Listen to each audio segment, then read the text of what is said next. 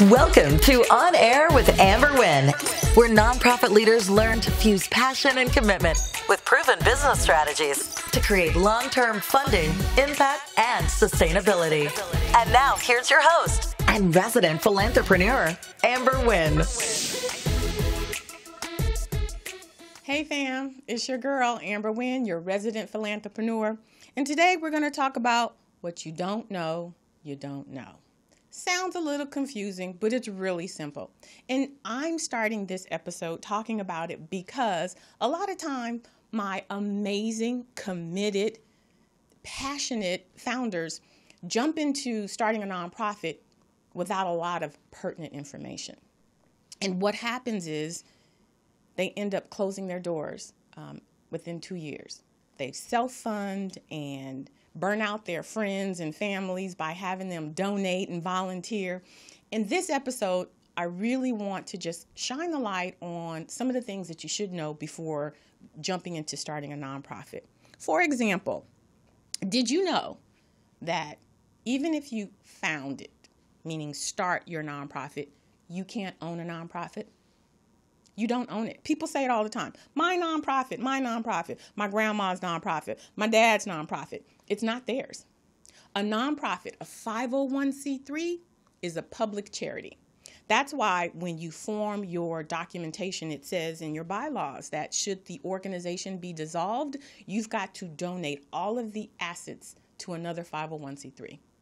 That means if you've invested $20,000 of your hard earned money into this nonprofit, if you dissolve the organization, you don't get to keep that money. Why? Because it's a public charity. People are going to be pissed at me, but I'm telling you the truth. And if you don't believe me, you can go straight to the IRS website and it'll say right there a nonprofit cannot be owned, not by a person, not by an entity. It is a public charity, and its purpose is to serve the community. If you want, um, if you want to generate a salary. Yes, you can get a salary from a nonprofit. If you want to pay staff, if you want to do things, give out scholarships, absolutely, you can do all of those things. But the purpose of a nonprofit is not to make you rich, and it won't make you rich. But you need to know that you will never, ever, ever own a nonprofit, even if you start it. The other thing you need to know um, is if you are the founder or the executive director, if you're getting a salary and you're reporting to the board, you can be fired. That's super important to know. I've had clients call me in tears. I put all my time and all of my money into this nonprofit, and this board fired me. And there's absolutely nothing that you can do. Uh, people will stack their boards with people that they know, and that's all good and fine until it's time to start raising money. Because typically, the people that you know and love you have no knowledge, no skills with fundraising. So, the purpose of a board is to help you fundraise. So, you won't really skirt by um, not being fired by putting your friends and family on the board. What's going to happen is you're going to get burnt out and then you're not going to raise any money. So people ask me, "Well, what I'm supposed to do because I don't I don't want people to fire me." You've got to run a bona fide organization. That means you need to have a recruitment process where you get to question and interview the people on your board and get a feel for them. You've got to have clauses for being able to get rid of them, but you can't just stack your board with friends and family because if they don't have any nonprofit experience, then there's a high likelihood that your your nonprofit will not grow. But you needed to know also that if you are receiving a check and you're fulfilling the role of executive director, you do report to the board and you can be fired. The other thing I wanted you to know um, is if you sit on a board, that you are fiscally responsible for the organization. So if something happens and you don't know about it, it means nothing. You are responsible for that nonprofit organization up to and including jail time. So people ask me all the time because I write grants and they think they're going to pimp me and that's not going to happen. But will you join my board? I look at their financials. I look to see if they have D&O insurance, which is directors and officers insurance. And if they don't, then Amber Wynn is not going to be on their board because my personal assets are not protected. So you need to understand that if you are a board member and you're sitting on a board that you need to be protected because it is your fiduciary responsibility to to manage this organization. So, as I said, today we are talking about what you don't know, you don't know. I'm your girl, Amber Wynn, your resident philanthrepreneur. You can check me out on all of my social media platforms. I've got a website, www.amberwynn.net, Instagram. You can check me out on Facebook and Twitter. And I am here for you, my amazing founders and nonprofit executive directors. Today, we are talking about what you don't know, you don't know because what you don't know could get you into a lot of trouble. But before we jump into all of that, I want to pause and we're going to go to commercial. You're a school, a foundation, a healthcare provider, or an environmental group, a museum, a church, a shelter, or a community service. You're starting a nonprofit on a startup budget, and you need to get this right the first time. No mistakes, no misunderstandings, and no costly do overs. At Nonprofit Elite, we know what you need because we've been there too. Accurate information, mistake free filings, and peace of mind assurance that your 501c3 application will be successful. This is what we do, and we are very good at it, all backed by our industry leading guarantee and 100% IRS approval rate. But forming your nonprofit and obtaining tax exempt status is just the beginning. Once you're up and running, Nonprofit Elite will consolidate the bulk of your operations into one place, including your accounting, compliance, website, fundraising, and more. We do the work of several full time staff for just a fraction of the cost so that you can remain focused on advancing your mission. Contact Nonprofit Elite for expert preparation of your formation documents and 501c3 application and for a full range of accounting, fundraising, and administrative solutions. Welcome back. You're on air with Amber, and today we're talking about what you don't know, you don't know. And I wanted to cover something because I guess the number one question that I get as soon as a person files their 501c3 tax exempt status and they're approved, the first thing they say to me is, How do I get a grant? And so it's important that you understand that having a 501c3 tax exempt status is not enough to qualify for a grant. There's two things you need to understand one, eligibility versus qualification. You're eligible. So, a person or a, a nonprofit without a 501c3 tax exempt status can't even apply. So, the fact that you have a 501c3 um, tax exempt status means that you can apply. You're eligible. Does that mean that you qualify for a grant? The answer to that is no. There are so many nonprofits out there. Honestly, we don't need another nonprofit. But the reality is, there are so many nonprofits out there doing what you've done, maybe a little bit differently, that you know you are in competition. Funders are not responsible for funding nonprofit organizations. I know that sounds weird, so I'm going to repeat that again. It's not the purpose of a funding agency to fund a nonprofit. Their purpose is to accomplish their mission. Now, they partner with other nonprofit organizations to help them accomplish that mission. And if you look at it from that perspective, then I think you'll have a shift in your mindset because you'll understand that they're not obligated to give you anything. They look at what you can produce, what their return on their investment is, because that's how funders look at grants.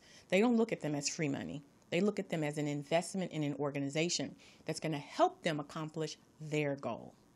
Some of my um, biggest success in grant writing was when I realized that I needed to connect with the funder, meaning I needed to tell them how I was going to help them accomplish their goals. A lot of time people when they write their grants, they're like, "Oh, if you don't give us money, then the door is going to close and these babies won't get fed." And that's doom and gloom.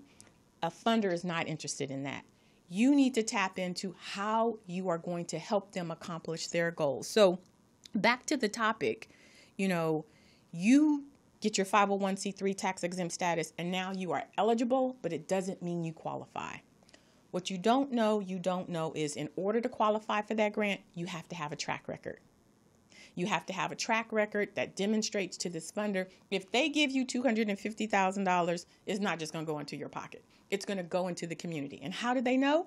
Because you've gotten $10,000 before or you've gotten sponsorship money, 5,000 or you've gotten people to donate and you've taken that money and you've put it into the community. So, when a funder asks you for financials, that's what they're looking for. They're looking to see how you've managed your money so that if they give you money, they know that you're going to manage it properly. So, you need to know that it takes more than just a 501c3 for you to qualify for a grant. All right. Then also, I want you to know that you are competing. When you jump into this big pool of nonprofits asking people for money, it's not just you. It's Amber Wynn, it's, you know, Jane and Bob and all of these different people who've more than likely been doing this for a long time. And so when you come into that space, you need to really just understand that you're competing. And so you've got to put all of the best things about yourself out there. And so you need to have a really good website. You need to have an engaged social media platform because these are the things that a funders are going to look at to determine whether or not you qualify. They want to know that if they give you money, there's more than just one client that they're going to serve, right? So it's important to understand you are competing. You need to create your competitive advantage. I'm telling you all of this stuff because before you jump into this non this world of nonprofit, you need to understand that it takes a lot of work. Now, the beautiful thing is that I'm here to assist you. I love my founders, I love my executive directors, and my goal is to support you. Having been an executive director before, it is a daunting job. It is a thankless job and it is a lot of work. And so sometimes you just you just need to understand and and just to get through all of the muck and mire and confusion that is called the internet. There is so much information out there but you don't know is this the right information? Is this the right information? And I'm here to guide you. As a matter of fact, my offer today for all of my people out in in internet world is uh, a free calendar. It's a calendar that supports my workbook and it's called How to Start Your Nonprofit the Right Way in 90 Days or Less. And it's a calendar um, and it walks you through 90 days of how to start start up your nonprofit. Not only how to start it, but how to run it. And the reason why I created this is because there's so much information out on the internet that people would come to me and say, "Well, I thought I did this and I did." And so if you follow this calendar, then you'll set your nonprofit up powerfully for success. It talks about setting up your infrastructure, meaning starting a bank account and you know putting together your website then it talks about board recruitment you should do all of this stuff before you file now no worries if you've already filed because you can still follow the calendar and get your nonprofit back on track. My purpose my function here is to provide founders with the roadmap for creating a sustainable nonprofit organization. And that calendar is going to help you help get you through it 90 days, get you back on track. So I'm going to put in the link, uh, put in the comment section the link for you to download your free calendar, and you can use that to help get you back on track. All right, so just wanted to say again, if you're just now joining me, I'm Amber Wynn, your resident philanthrepreneur. You're here with On Air with Amber. You can hit me up on all of my um, social media. You've got my website, my Instagram, my Facebook, and my Twitter. This is the the part of the session where you know you get to ask me your questions. It's Ask Amber. And if you want to leave me a question, you can hit me up on all my social media and ask me a question. The question that I have today is basically what we are talking about. How do I get a grant as a new nonprofit? Well, if you're a new nonprofit, I'm going to tell you the fastest way to fund your nonprofit is to not try and get a grant. Um, there's seed money out there, 10, 15, 25,000 dollars. Those grants are specifically for brand new nonprofits. So you would Google seed grant, S E E D grant. Those are a whole lot easier to get. They typically come from um, foundations and they are designed to give you an opportunity to manage a small pot of money and then use that as your foundation to secure bigger money. But my recommendation is not to try and get a grant coming straight out the door. My recommendation is that you leverage your board members and you come up with five different funding streams for your organization, whether that is corporate sponsorships, whether it's going to be um, scholarships, it's going to be naming opportunities, five different ways to bring in money. And when you bring in money, then you need to create an accounting system that you can then show to a funder because they're going to always ask you, where are your financials? If you have money coming in, even if it's a small amount, you still are demonstrating that you're managing money. So the goal here is not to um, secure a grant, but to create your infrastructure so that you can then qualify for money. So that was the question for today's episode. If you have a question, feel free to hit me up at amber at amberwynn.net with your question, and maybe I'll, I'll answer it online. I mean, live here online. All right. So um, the other thing that I do here is I feature nonprofits. As I said in a previous episode, my nonprofit leaders work so hard and sometimes they work so hard they keep their head down in the in the weeds and you know they're not out there. In order for you to get into the space of funders they need to see you. you visibility is really important. That's why your your website is also important. So today i would like to actually spotlight um, a nonprofit called parenting black children program this nonprofit actually was um, founded, it's a project of parenting black children. It's a project of Access Nonprofit, a 501c3 founded in 2005. PBC is a team of parents, special education teachers, social work interns, disability advocates, church ministers, supporting parents and caregivers of African Americans with developmental disabilities, who work in partnership with the Regional Center to provide support group and network for parenting for parents and caregivers. They provide wellness kits, training, and family fun events. PBC is dedicated to increasing awareness, outreach, and education of developmental disabilities, mental health, and special education resources. Thank you, PBC, Parenting Black Children, for all you do to support parents and caregivers of African Americans with developmental disabilities. For more information, please visit welcome at parentingblackchildren.org or give them a call at 626 387 3853. All right, so that was our spotlight. If you are interested in um, me featuring you, then um, send me your information at any one of my social media channels. My goal is to make sure that you get the visibility that you deserve. Um, and then also, I'd like to again thank my sponsors. We had Small Biz Pro and Nonprofit Elite. It's important that you create the infrastructure that's going to help you be successful in the nonprofit sector, and Small Biz Pro has that infrastructure with their platform.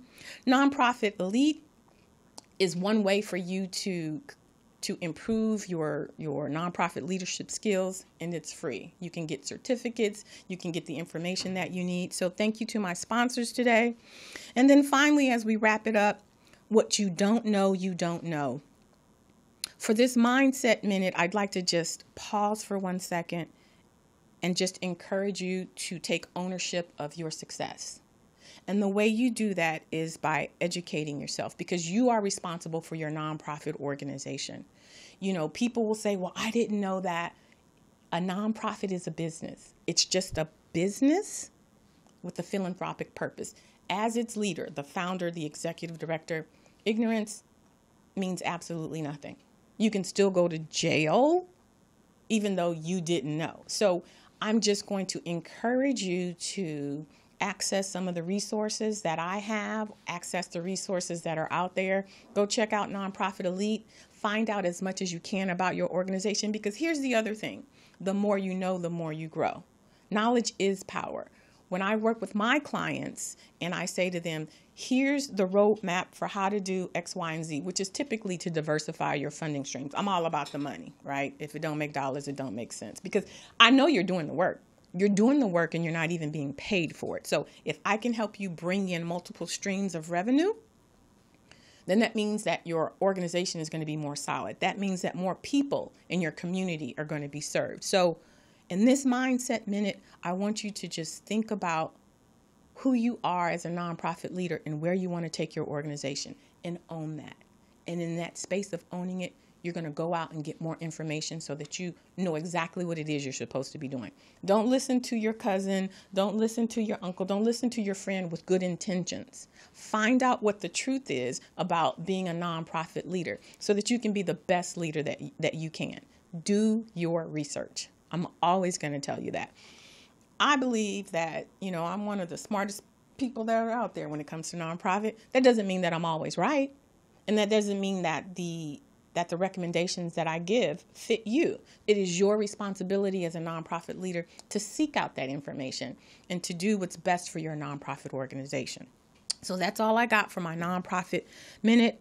Um, I'd like to thank you guys for joining me today, and I'd like for you to um, come and check me out again on my next episode.